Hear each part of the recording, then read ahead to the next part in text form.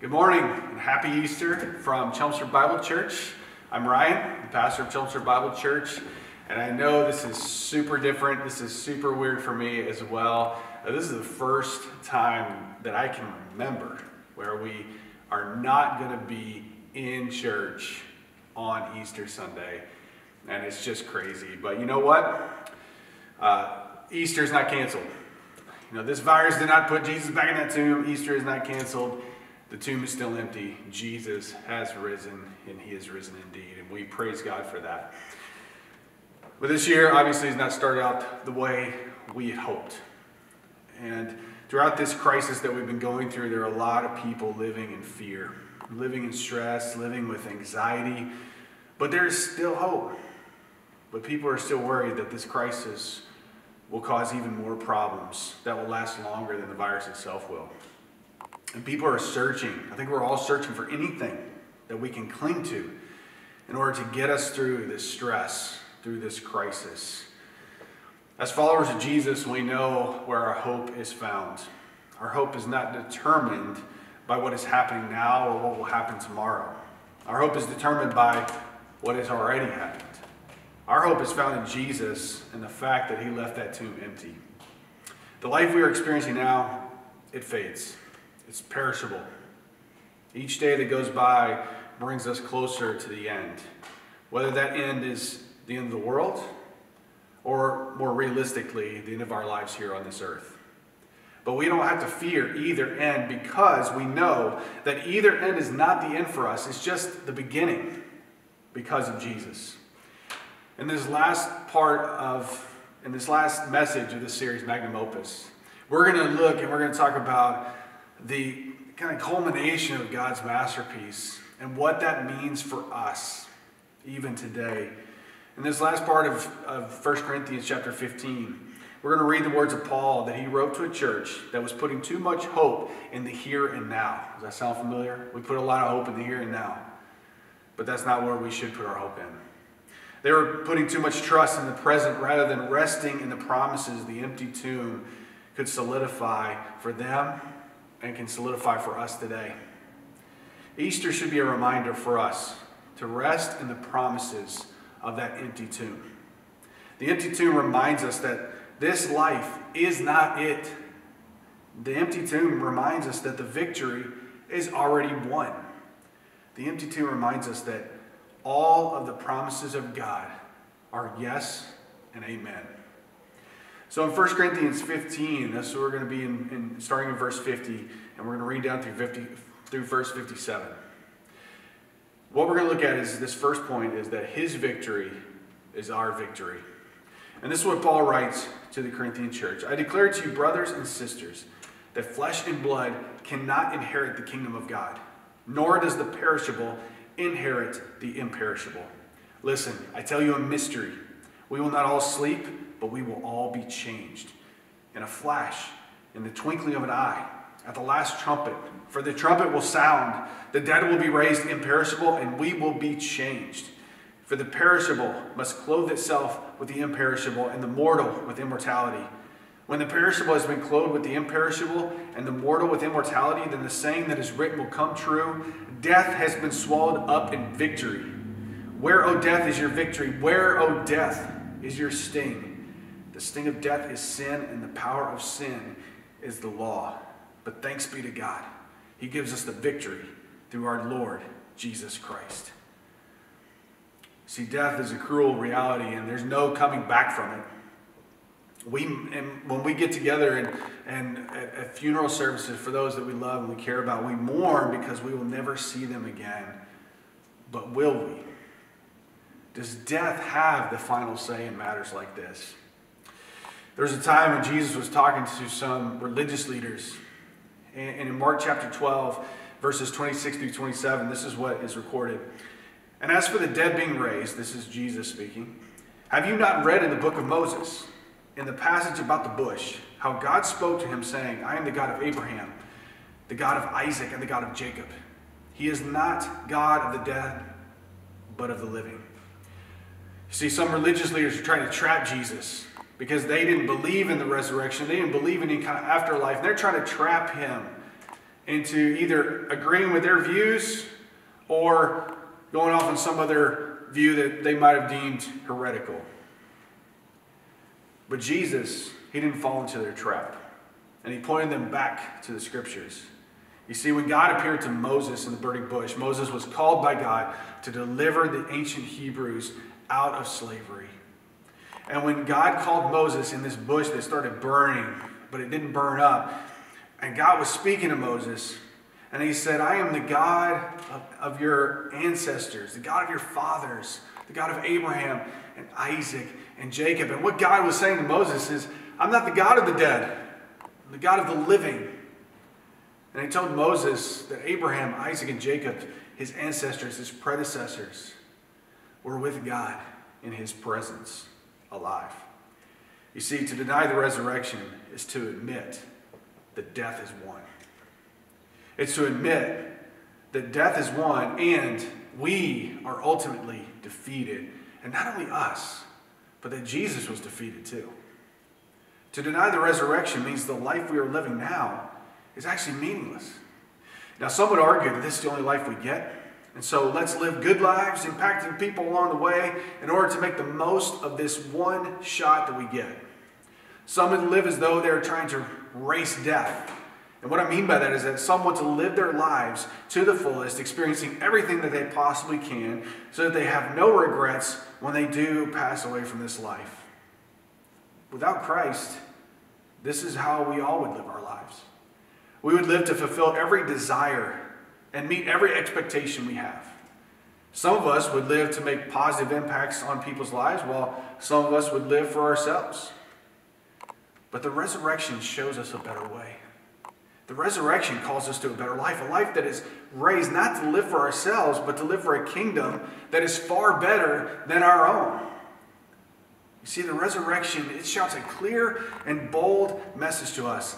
Death has been swallowed up in victory, and that sting of death is gone. You know, when you feel that sting of death, when you're at a funeral service, think about those times where you've been at a funeral service and you feel that sting of death. Well, whenever you feel that sting of death, you know, you know as a follower of Christ that that sting is gone. We don't need to dwell on that sting. Especially if our loved one knew Jesus and followed Jesus, we will get to see them again. The victory that death thought it had was a delusion. In Isaiah chapter 25, verse 8, the prophet Isaiah says this He will swallow up death forever. And the Lord God will wipe away tears from all faces. And the reproach of his people he will take away from all the earth, for the Lord has spoken. You see, the prophet relayed this message from God to God's people who are about to be exiled into a foreign land. The prophet was reminding God's people that there was hope. The resurrection of Jesus declared that this promise from Isaiah was going to be realized, was going to come to fruition. There would come a day when Jesus will return and death will be fully defeated. We still face death now because Jesus hasn't returned yet. When Jesus returns, he's going to take down and say, You are no more. You're done. And we don't have to fear death now because death is only the beginning for us. Death is the way to get us to where God is. And notice from the Isaiah passage how tender God is. That he will one day wipe away every tear. And he will say, This thing of death is gone. Death has been completely swallowed up. And the resurrection of Jesus solidifies that promise. The resurrection of Jesus shows us hey, I just got this ball rolling. I rolled away that, that stone. I walked out of that tomb and I left it empty to show you that death is done. Death's days are numbered. You see, Jesus won the victory over death, and we share in his victory. We live victorious lives. We are just passing through this wilderness right now. You see, when Moses delivered the Israelites out of Egypt, out of slavery. They had to wander in the wilderness for 40 years before they were able to go into the promised land. We are wandering in the wilderness right now, waiting for the promised land. The promised land is where God is. And Jesus is going to come back one day, and he's going to establish that promised land here, and we get to live with him forever, never having to face death again. So, whatever this life throws at us is meaningless. because nothing can change the victory that we have because of Jesus. So, how now shall we live? How now shall we live? Knowing the fact that, that tomb is empty, knowing all those promises that are solidified because Jesus left the tomb empty and the hope that we have that is waiting for us. How now shall we live? Well, we need to be unmovable. We need to be unmovable. Back in 1 Corinthians chapter 15, the last verse of this chapter, this is what Paul says. Therefore, whenever Paul says therefore, or if there's a thus, or but or anything like that. It's a, it's a, it's a joining word. It's a conjoining word. It means look at what happened, came before this, and now take that into account as you read this verse. So he says, therefore, therefore, death, because death has been swallowed up in victory, and there is no more sting of death, therefore, my dear brothers and sisters, stand firm. Let nothing move you. Always give yourselves fully to the work of the Lord because you know that your labor in the Lord is not in vain. Because of the resurrection of Jesus, we can trust in the hope that awaits us in eternity. We don't have to fear death, and we actually don't, even have to fear anything that this world has to throw at us. We don't have to fear anything. People are afraid of this virus right now and its implications, but as believers, we don't have to fear. We can stand in the midst of this chaos in full trust in Jesus. We can be unmovable. Now, does that mean we need to make rash decisions and, and, and dumb decisions? No. We still need to be compassionate followers of Jesus, making sure that we're doing everything we can to honor Christ in everything that we do. But we can be unmovable. We don't have to be swayed back and forth. You know, it's like when Jesus was walking on the water. Jesus is walking along, and the, the crazy part of that story, I think that we miss, the details about that story that we I think we miss, is that Jesus is walking on this water, and it's not calm water. There is a massive storm that has arisen. And it's so bad that even the disciples are in this boat and they're freaking out. They're worried. And these are disciples, some of whom are fishermen. At least three of them, Peter, James, and John, they're fishermen. They grew up with storms all the time as they were fishing. And Jesus is just walking on this water as calm as he can be. And then, not only they freaked out about this storm, now they're seeing a guy walking on the water and they think it's a ghost. And Jesus says, Don't be afraid, it's just me. And then Peter says, If it's you, Lord, Tell me to come out there too. And so Peter starts walking, and then here's, the, here's what happened. Peter's walking on the water, which is just crazy. But as soon, and it says this in the scripture passage, as soon as he sees the wind and the waves, he starts sinking immediately. Because he lost his focus on Jesus. When he was when he put his eyes on Jesus, he was unmovable.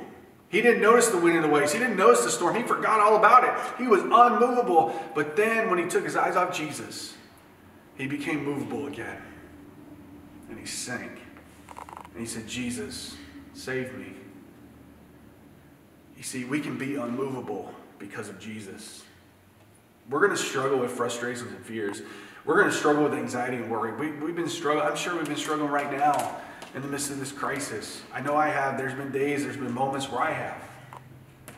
But when we struggle, we have the Holy Spirit inside of us to remind us where hope is. He will lovingly remind us that our hope is found in Jesus, not in this world.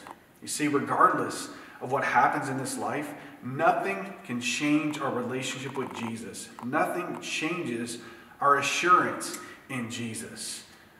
You know, we sing that song sometimes, that, great hymn, Blessed Assurance, and that, that hymn is so true because it speaks so much truth about who, the assurance that we have that is found only in Christ. In Ephesians chapter 4, verses 14 through 15, it says this Then we will no longer be infants, tossed back and forth by the waves, and blown here and there by every wind of teaching, and by the cunning and craftiness of people and their deceitful scheming. Instead, speaking the truth in love, we will grow to become in every respect the mature body of Him who is the head, that is Christ. Each day brings us closer to Jesus. Each day makes us more mature in our walk with Christ if we allow that Holy Spirit to continue to work in us, to continue to mold us and shape us to become even more unmovable. Are we going to be movable at times? Yes. Peter was a disciple of Jesus. He sank in the water as soon as he took his eyes off Jesus. Do we do the same thing that Peter did? Yes, we take our eyes off Jesus, we become movable.